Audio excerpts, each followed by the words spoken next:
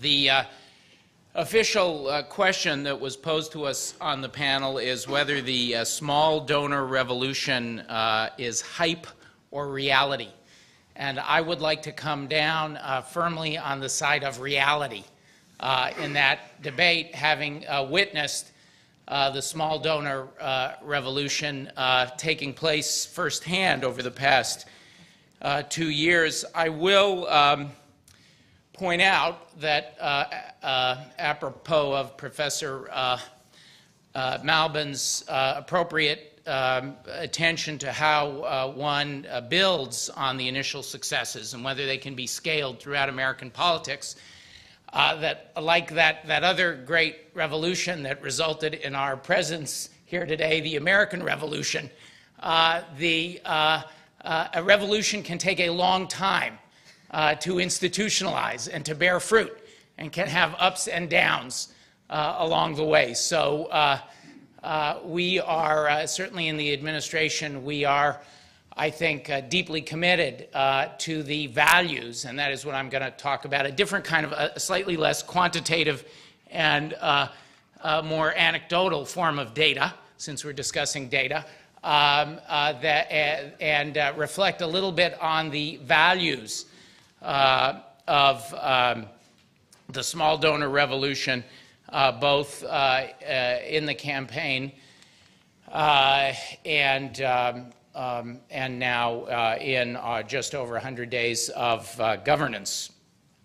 Um, the, um, the, I, I, I, actually feel that I was uh, uh, present uh, at the moment at which we realized that the in the Obama campaign uh, that the small donor revolution for us, at least, uh, was going to be uh, reality and, and not hype. It was, uh, I gave a, a, month of my life to the Iowa caucuses.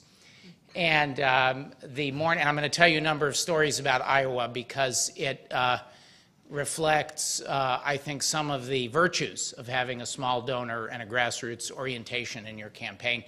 Uh, but we, a number of us, old friends, law school classmates, uh, I was law school classmate of the president's, uh, family members, uh, and others who were significantly involved, exhilarated, got up early and were gathered in a room after the success in the Iowa caucuses and somebody ran in, one of the internet people. We had groused among the, the vast amount of grousing in the down points uh, in uh, that, and there were ups and downs, just like in revolutions. There were ups and downs, uh, certainly in the campaign in 2007. And, uh, uh, you know, one of the issues that we had was we're sinking all of these resources into an internet operation, and is it bearing fruit? Is it worth it? It's very expensive, it's very time consuming.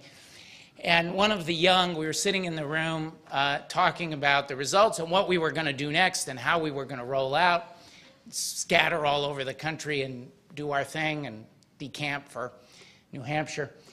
And one of the young people ran into the room and gave a piece of paper to Penny Pritzker, who was the chair of the fundraising committee, and somebody was talking. Penny stood up and she said, I just want to announce the, uh, the internet of giving is going crazy. And I, I don't remember exactly what the, uh, what the uh, numbers were, but the small donors as a result of the success uh, in the caucus really were, uh, were hitting the, uh, the website in unprecedented numbers. And then it was, it was off to the races after that. I, I have to tell one other story about Iowa that for me,